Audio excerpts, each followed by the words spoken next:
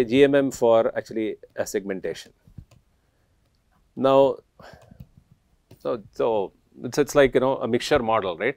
So it's like saying that it's like saying that you know if I uh, so right instead of instead of you know going so it's you know one way to think about it is it's kind of a probabilistic version of version of actually k means version of k means you can also think of it as some kind of you know a generative model okay at the at the, end of the end of the day but anyway right as far as segmentation is concerned right we can actually think about it as being a probabilistic version of k means and uh, and one of the things that it does is clusters are modeled as actually a Gaussian,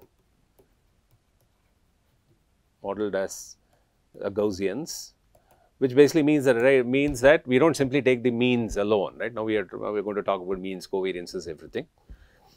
And uh, the other thing is that uh, it does a soft assignment, right. So you can so so so in that sense, right. Even if you have something on the boundary and all, right, you do not have to worry. You can say that there is a higher probability that it belongs to that cluster probably lesser probability that it actually belongs to the other cluster and so on, right. So, so it does enable soft assignment and then if you actually go through the go through uh, go through the steps, right, you will realize that that you know that uh, that basically what do you call a probabilistic thing, right, will will become will become very very apparent when you compare it with how k means worked. Uh, and the cluster shapes are of course right. What will be the shape here? Hmm?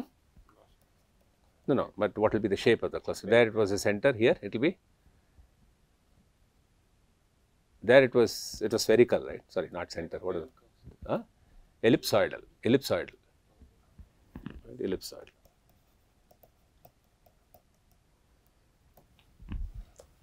Again, right, I mean, you know, again, right, it does not mean that, mean that right, GMM can solve, can solve, for example, right, all your issues. For example, right, if I showed you one such image, right, which I think if I showed okay anyway right we won't kind of get into that but I'm just saying that this this is at least better than the k means because this uh, this is more like you know it's taking more things into account right while it is actually doing the assignment and also the say, cluster shapes right need not be uh, need not be say, constrained to be spherical which is actually a good thing.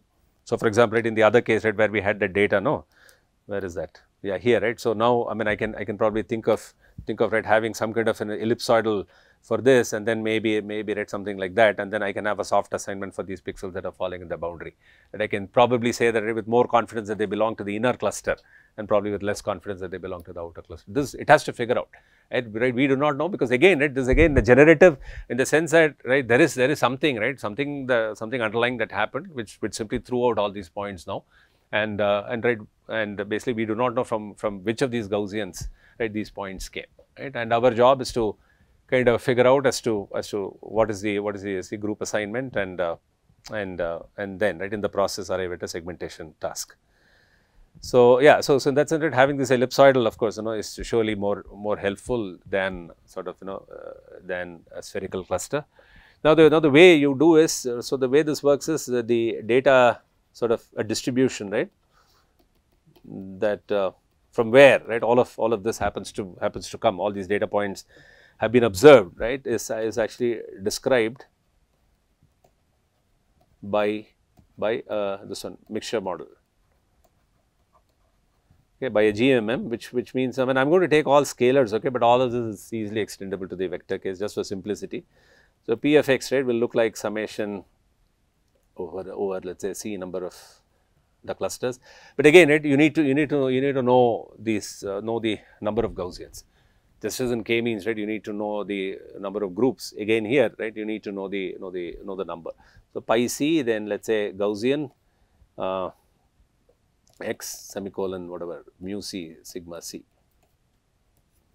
And this pi c sort of right indicates the strength strength of the Gaussian of the cth Gaussian right of the cth Gaussian.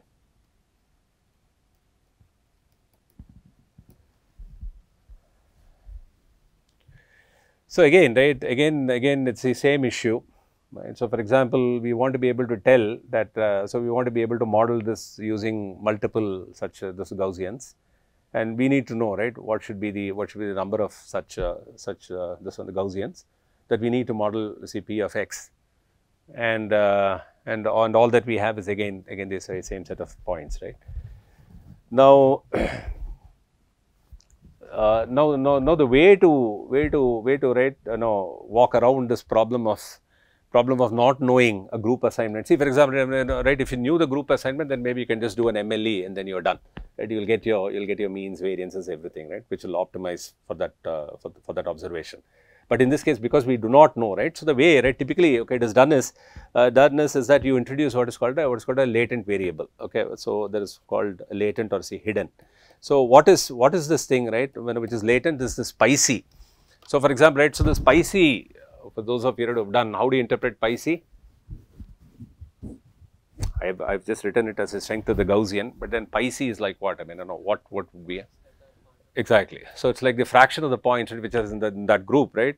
As, uh, as compared to the entire set of points, right? So it actually, so so in a sense, right? So if pi c is pi c is very high for a, say, a certain group, then it means that when you draw a sample, it's very likely that right, it will come from there because of the fact that pi c for that is very high because among the among the total set of points that particular group happens to have a lot of points right within it. But this right since we do not know and uh, and we have to start somewhere right. So when you start somewhere so what we do is you know so uh, so the so the way to way to sort of right, uh, right think about it is first of all among these mixture components right I would like to first of all identify identify one mixture right. So for example, so what you will do is you know, introduce a latent or hidden variable z right where where you see probability that is z equal to c right is equal to actually uh, this one the, the pi c right. So, so, so what this means is that probability that you will pick up the cth mixture right that is that is this whole thing is a, is a kind of mixture of Gaussians, right. So, the probability that you pick, that will pick the Cth mixture itself is actually pi c. That means if pi c is very high for a certain C, then the C probability that you would pick that, that particular mixture to draw the sample, right, is very high. And once you, once, once you have, once you have done that, right, then, then this, uh, then this, then this x, right, right, given z becomes simply n of, uh, n of, right, x, right, mu k whatever right? I use C there now right? Uh, given that given that right now I've said C so it's like you know mu C C sigma C right. So, so in a way so this but this but this group assignment and and uh, the optimization of the of the you know, model right has to be done in a, in a, in a sort of right you know what do you call right iterative way.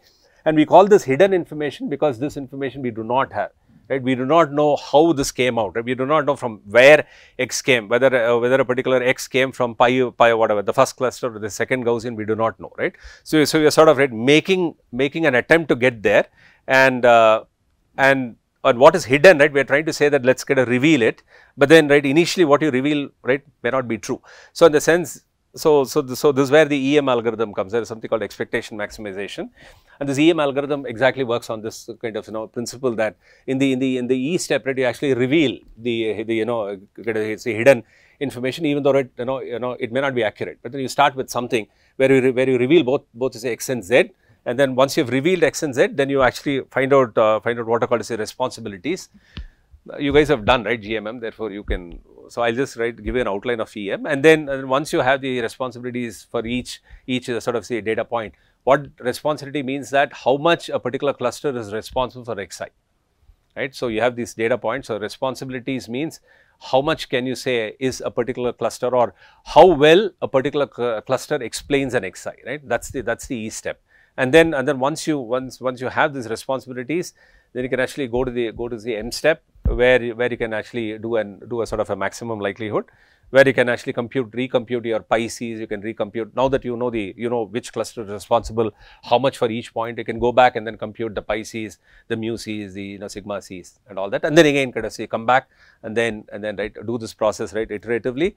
And uh, the proof right we will not go into, but then know, but then one can one can show that one can show that right, this ultimately maximizes maximizes your CPF P of x for all the points. Right? That means, in a sense that you have identified what P of x will best describe your x1 to whatever xn, right? That's that's the idea, right? So this is the math uh, is fairly straightforward, right? So so what you have to do is so let's kind of let's say EM for actually GMM, right? So this is the expectation maximization. There is there is a reason why they call this you know expectation at all. I won't kind of go into that. Uh, so EM, right? Uh, so EM for right, GMM. I mean, EM, EM you can apply in various situations. In this case, we are applying it for a GMM, right? And, the, and then the E step, right, which is the estimation step or the expectation step as it is called, right. So, here what you do is the following. And, and now, right, I will draw the parallel with, with k-means, okay. So, the, now you will be able to appreciate as to why we think of this as a kind of a probabilistic version of, uh, of k-means, okay, E step. So, in the E step, right, what you will do is for each data sample, for each data sample xi, okay, drawn as per of course, uh, drawn according to see pi c, right, as I said earlier, drawn according to pi c. Okay and uh, all this assumes that right you are starting with some initial estimates okay? So that initial estimate could be from the k means itself or it could be it could also be random but then if it is random right then there could be there could be local optima issues. Even k means right there is no guarantee that right there will be there will be a very good initial estimate. But in the absence of, of anything else you can use k means to start the initial estimation. So we so find find a responsibility right RIC so what is responsibility means that how much is is a cluster the cth cluster responsible for for data point xi okay and that that you can you can compute as uh, pi c and then right xi uh, mu c sigma c upon summation over let us say c prime pi c prime n xi mu c prime sigma c prime right and uh, and of course as you can see summation ric or over c prime over over all all c primes is 1 right so, okay, so in a sense, so the way to way to interpret this is that if if let's say if let's say right, uh, uh, what do you say? So, so if this RIC right, if it actually turns out to be turns out to be high right, then it actually means that means that right that particular sort of a Gaussian right is best able to explain that particular particular sort of you know data point xi as compared to the others. Okay, that's what this RIC means. It will sum to one, but then for let's say whichever sort of a cluster it turns out to be high, that means that means that cluster is able to actually explain it a lot better than let us say right any of the others. Okay. Uh, so, yeah, so what this means is that um, a high, a good or a high value of RIC, okay, I will just write this, as, this a technical word is actually this uh, responsibilities. Okay, a high value of, of RIC indicates that that uh, that the cluster C or the Gaussian right in that sense the cluster C uh, best explains xi compared to others compared to the other other uh, Gaussians right okay RIC dash. Hmm? and the the m step right once you once you once you have these RICs, right so the so the m step right what you can see is that uh, you can actually compute pi c okay no let us first compute something called mc which is a which is a, a total number of data points. Not really i mean uh, in, a, in a sense okay? So we can we can actually compute this as summation uh, ric right over i. See what this what this really means is see for example right I mean if you kind of you, if you relate this to the k means right you can interpret MC as being the as being the number of data points right in the in the in the in the you know cth group right? Because there RIC would have been 1 or 0 right? It is either here or there right? And therefore when you when you when you come up with see here right RIC is like is like is like between 0 and 1 right? So that's why it's a kind of probabilistic version. Whereas there you would have had RIC to be to be just binary right? I mean it will be it will be like a one hot vector. It will be like 0, 0, 0, somewhere 1, 0, 0, 0, right. And so, wherever it goes, right, there you, there you get a 1. Therefore, if you sum up the RICs, if you think of this step, this is exactly what we did in the K means, except that there RIC was binary, right. And, and, and wherever, wherever it was assigned, right, you would simply add, add all those points, whereas here you add up RICs. Okay, so, so you can kind of draw a parallel between this and uh, this and the hard assignment. This is where this is where it, it becomes a soft assignment now, whereas there it was a hard assignment. And then you can then compute pi c, right? You can actually use this MC to actually compute pi c. So, that will be like MC by M, where M is the M is the total number of points, right? And uh, then you can have, of course compute your mu c, which will be like 1 by MC, but now, but each of the each of the xi should be weighted by RIC, RIC xi over i, and uh, sigma C will also or sigma square C will also be like 1 by MC then summation weighted by RIC and then Xi minus uh, mu C square. Right.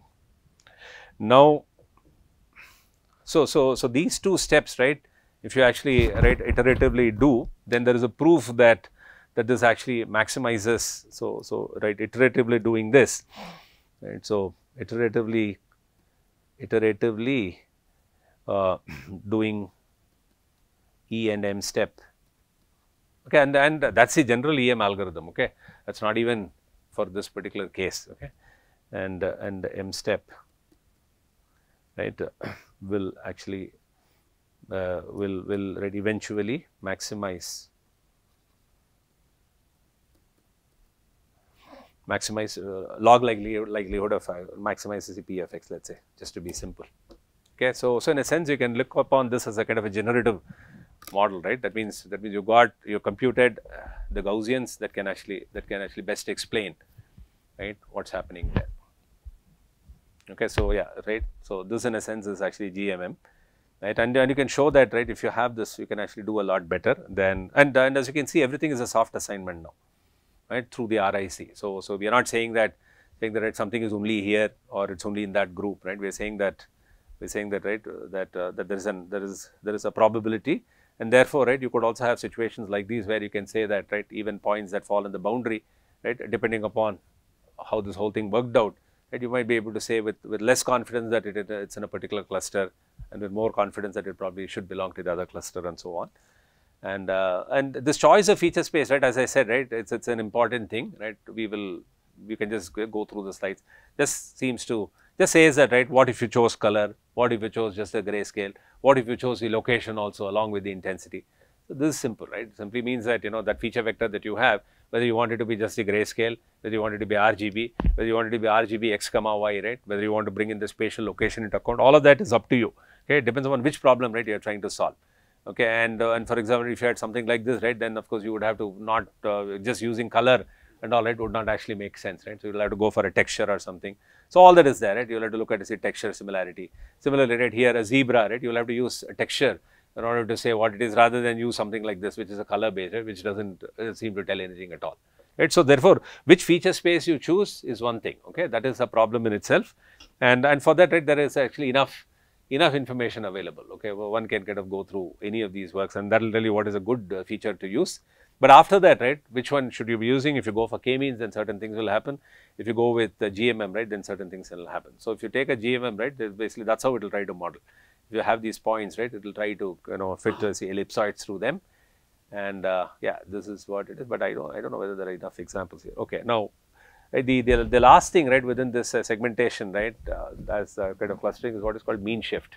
See for example, right, I mean, so, so if you had something like this, right, and uh, and for example, right, if you had to do uh, do a clustering, so this uh, this this this is very hard, right? For example, you cannot think of a GMM being able to do this. You cannot think of think of k means or GMM or anything, right, that can actually do this. And and first of all, right, how do how do you even tell what is a k and all? So, so mean shift is actually is actually a higher level algorithm than both of these. Uh, that's actually, I mean, earlier one, I mean, GMM is actually a parametric approach, whereas this mean shift is actually a non-parametric approach. It does not need the value of k, does not need anything, does not even assume the shape, and nothing it assumes. Okay, and that's why it's it's actually a powerful technique. Unfortunately, right, not not not much is talked about mean shift, but actually it's a very kind of powerful technique. So I thought, right, I'll just talk about it briefly, okay, tomorrow.